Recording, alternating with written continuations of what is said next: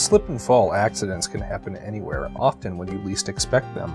They can result in injuries that may seem minor at first but later cause serious and chronic pain. Eventually, you may be unable to work and require extensive medical treatment. When you are injured because of dangerous conditions on public or private property, it is important to seek legal counsel to learn about all of your legal options.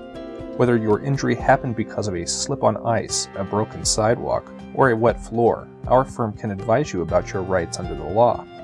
If you are injured, it is important to contact an accident attorney quickly. There are time limits for filing a slip and fall injury claim. Also keep in mind that failing to report your fall can weaken your case.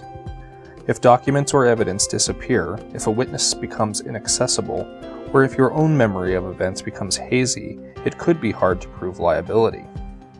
Contact our law firm for a free slip and fall case consultation today.